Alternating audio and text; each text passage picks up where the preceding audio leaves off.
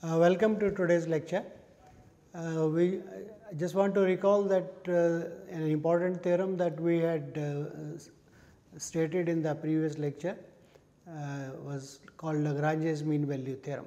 So, just just have a look at the statement again, so that we are able to uh, apply it properly. So, Lagrange's mean value theorem is about a function f which is defined on a closed bounded interval a b to r and it has the following properties. So, we are given that f is a function on a closed bounded interval a b taking values in the real numbers 1 f is continuous on the closed bounded interval a b and f is differentiable on the open interval a b. If these two conditions are satisfied by the function on the closed bounded interval a b, then the Lagrange's mean value theorem says there exists a point c belonging to a b such that uh, the difference f b minus f of a is equal to f dash of c into b minus a. We can uh, rewrite uh, the last conclusion uh, in case uh, b is not equal to a as f b minus f of a divided by b minus a equal to f dash of c. So, this is uh, Lagrange's mean value theorem and uh, geometrically it says the following. So, let us look at the picture Lagrange's value theorem says that if satisfies those condi two conditions that f is a continuous function on a closed bounded interval a b and differentiable in the open interval a b, then there is a point c such that the tangent at that point is parallel to the chord joining that um, uh, points a f of a and b f of b. So, this is a important theorem in calculus which gives us a lot of applications. So, let us look at some applications of Lagrange's mean value theorem. First application says if f is a function on an open interval a b to r and uh, f dash of x if it is differentiable function in open interval a b to r and its derivative is bigger than 0 for all x and f is strictly uh, then f is strictly increasing on a b. So, this uh, we are saying that if a function is differentiable in the open interval and its derivative is strictly bigger than 0, then um, the function is strictly increasing uh, in the interval a b. So, note uh, this is a property of the derivative of the function um, on the whole of interval a b.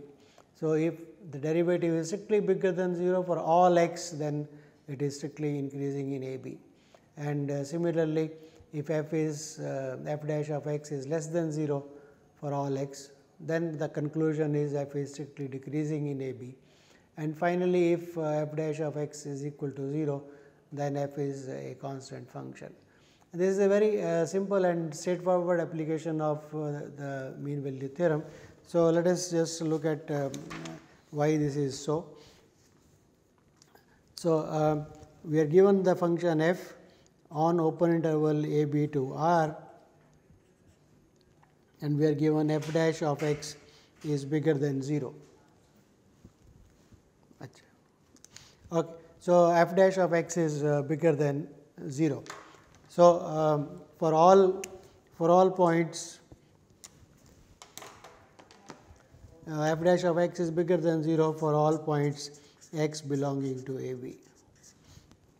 So, we want to show this implies f is strictly increasing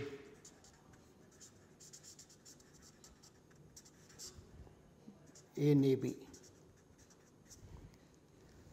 So, let us take uh, let us take two points x 1 x 2 belonging to a b such that x 1 is less than x 2 and we apply Lagrange's mean value theorem in the interval x 1 to x 2. So, that will imply that there exists a point C belonging to x 1 to x 2 such that f of x 1 minus f of x 2 is equal to f dash of c into x 1 minus x 2. Right. So, this is application of Lagrange's mean value theorem. Now, because x 1 is less than x 2 and f dash of x is strictly bigger than 0. So, this implies that the right hand side is bigger than f dash of c is bigger than 0 um, and x 1 is less than x 2 that means this product is always less than 0. So, implies by the given condition f of x 1 minus f of x 2 is less than 0, which implies which implies that f is strictly increasing. So, this is uh, the way Lagrange's mean value theorem uh, will be uh, used uh, to prove uh, various conclusions about the function. So, basically what we are saying is if we know something about the derivative of the function, then we can always deduce some properties about the function itself. Uh, so, in the same way we proved we proved it for f dash of uh, x bigger than 0, uh, similar proof will work for f dash less than 0.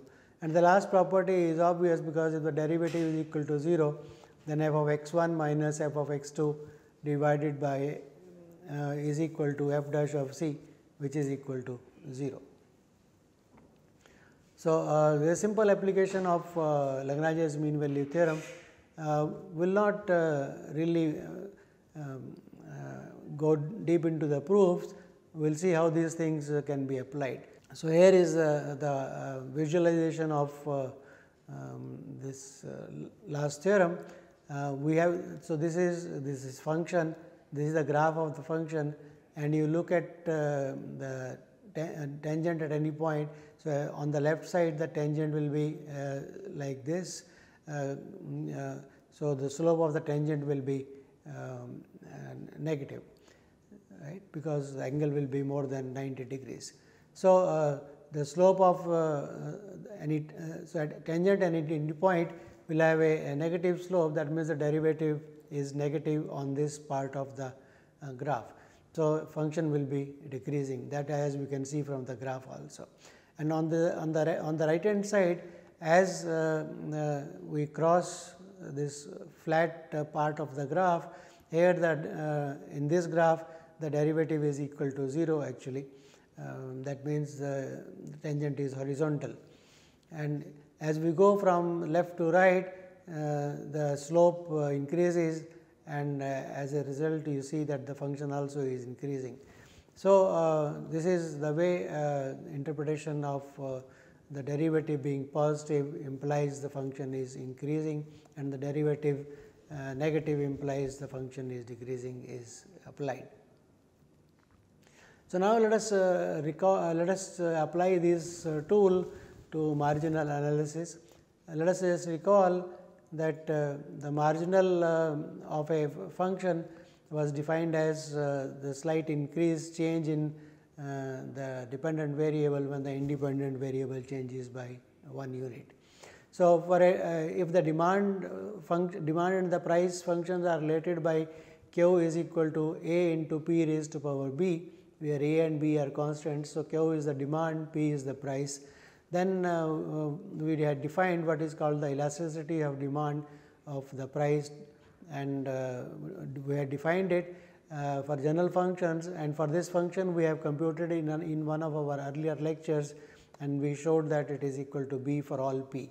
So, elasticity of demand for every price was the constant and that constant was equal to B for uh, this uh, function.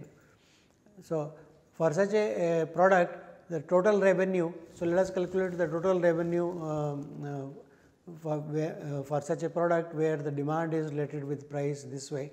So, total revenue is uh, defined as uh, the price into the uh, quantities PQ. So, P into Q uh, the demand.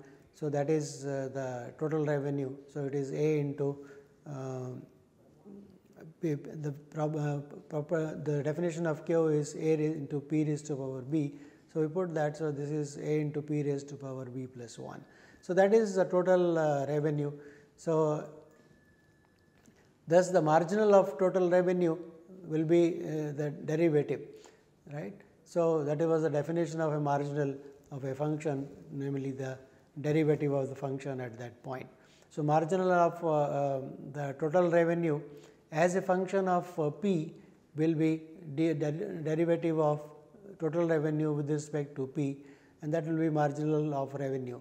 So, that will be equal to a into uh, b uh, plus 1 the power comes down into p raised to power b plus 1 minus 1. So, that is p raised to power b.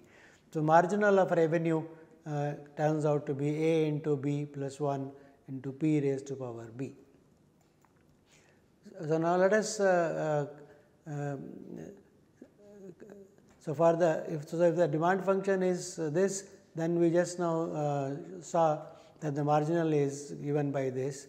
So, um, what does this imply? So, let us look at the constant b if b minus 1 okay, depending on b minus 1 the marginal will be positive or negative. So, if b is less than minus 1 if b is less than minus 1 then this quantity marginal revenue will be uh, negative because this b plus 1 uh, will be b plus 1 will be a negative quantity. So, that will imply that the marginal of revenue is less than 0.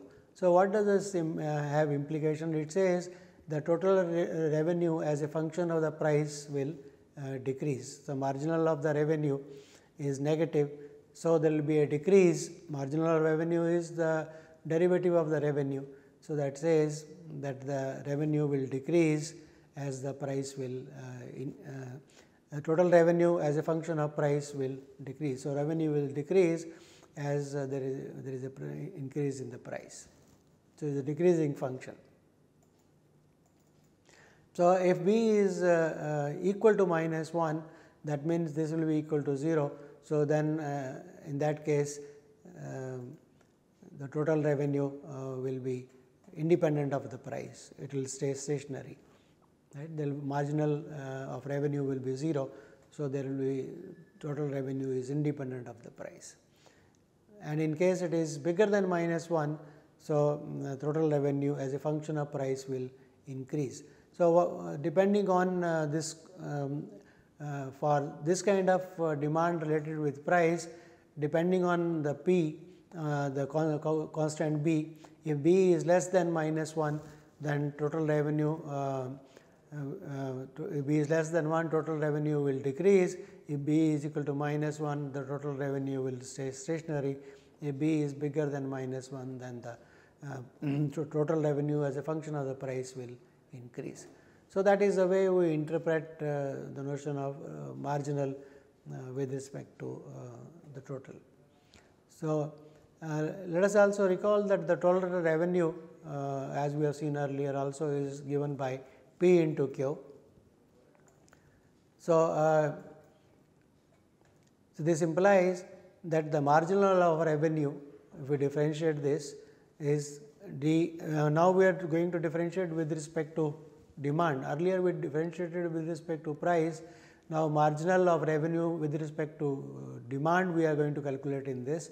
So, uh, if T r is equal to P q, so if we uh, find the derivative of uh, total revenue that will be marginal of the revenue.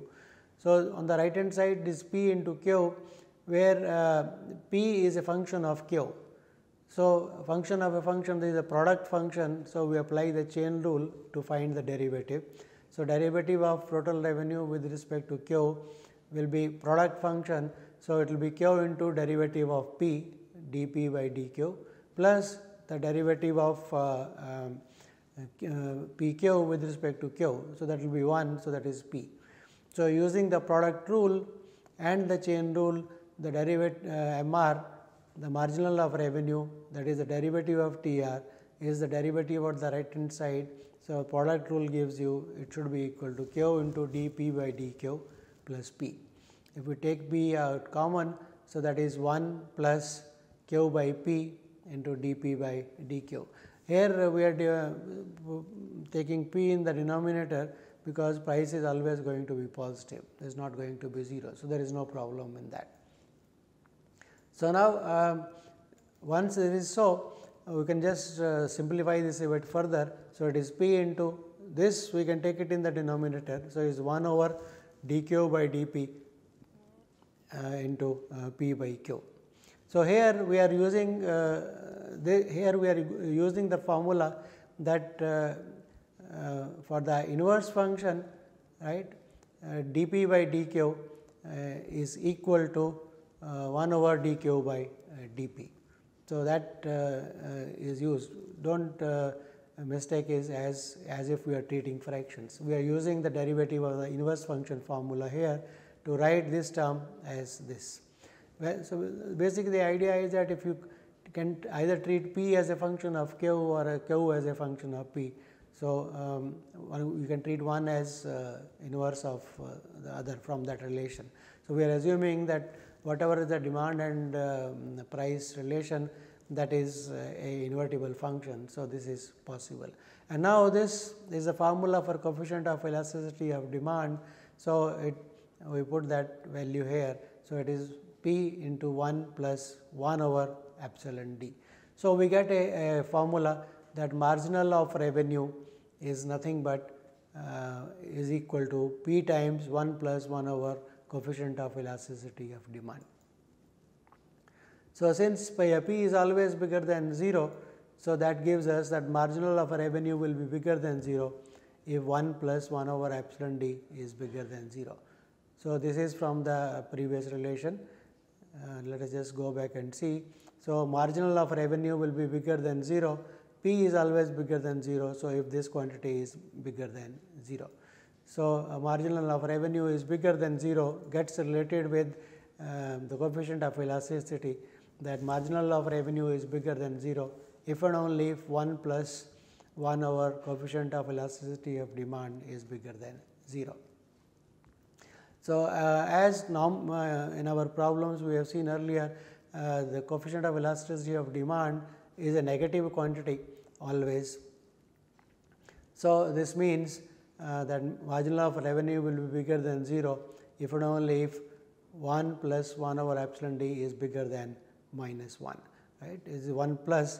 So, if this quantity is bigger than minus 1 that is epsilon d is less than minus 1. So, marginal of revenue is bigger than 0 gets related with the coefficient of elasticity of demand uh, in this way. So, marginal of revenue is positive if and only if coefficient of elasticity of demand is less than minus 1. And we had earlier seen in simple examples that the coefficient of elasticity of demand less than minus 1 means it is very uh, uh, the rela relationship between price and demand is very elastic and that is reflected here the marginal of revenue is um, bigger than 0. So, marginal of revenue will be increasing if coefficient of elasticity of demand is uh, less than uh, minus 1. So, because marginal of revenue positive means that the revenue will be an increasing function. So, revenue will be an increasing function uh, if and only if epsilon uh, this coefficient of elasticity of demand is less than minus 1. So, that is a conclusion of uh, this. So, that means revenue will rise if epsilon d is less than minus 1. So, upshot of this analysis is the, the following right. So, the revenue marginal of revenue positive means revenue will be rising it will be increasing if epsilon d is less than minus 1. So, uh, let us look at uh, some more properties of uh, uh functions which uh, are applicable in uh, economics, commerce and management. So, for a function in an open interval a b to r, a point c belonging to a b is called a point of local maxima. So, the property of c is being defined is it is called a point of local maxima if f of c is bigger than f of x for all x uh, in a interval c minus delta to c plus delta uh, around c. That means, locally uh, in a neighborhood of the point c uh, f of c is the value f of c is uh, bigger than uh, f of x for all x in that interval. So, in that interval the function value is the largest. So, then we say it is a local maximum and similarly we define a point uh, C to be a point of local minimum if f of c is less than or equal to f of x for all x between c minus delta to c plus delta. So, uh, local behavior of the function we are analyzing that we are saying a point c uh, on an open interval is called a point of uh, local maxima if locally the function is bigger than or equal to the value of the function at the point c is bigger than or equal to all values at nearby points and similarly it is called local minimum if the value at c is less than or equal to uh, f of x for all points is uh, in neighborhood of the point. So, the local maximum and uh, local minimum. So, in a sense uh, if you look at the picture the graph of the function uh, will look like there is a peak at the point c uh, if I look at a nearby points and this is there is a, a bottom out uh, kind of scenario if uh, this um, is a local minimum. So, what we want to do is uh, find the criterias in terms of uh, the derivative of the function which will help us to analyze whether the point C is a point of local maximum or local minimum. So, in a, you can call this as the turning points for the uh, graph of the function, because if you look at the picture uh, the graph will look like as follows. So, uh, if if this is a point C, then if in a neighborhood C minus delta to C plus delta, if we look at all points nearby and this is the value of the function at this point, then in that neighborhood what we are saying is the value of the function. So, the graph uh, should look like this. The value at this point f of c should be bigger than or equal to f of x for every x belonging to x minus delta to x plus delta. So, this is a kind of a peak. So, graph uh, there is a turn is going up and then it starts turning down if you look at the uh, neighborhood of the function, uh, value of the function at the point C in a neighborhood. Similarly, if we look at uh, uh, if there is a delta such that uh, in this interval c minus delta to c plus delta, we can say that the value of the function. So, this is the graph will look like sorry the graph will look like let us say uh, uh, like this. So, this is the value at the point C. So, that means f of c will be um, f of c is bigger than or equal to f of c is less than or equal to f of x for every x belonging to c minus delta to c plus delta.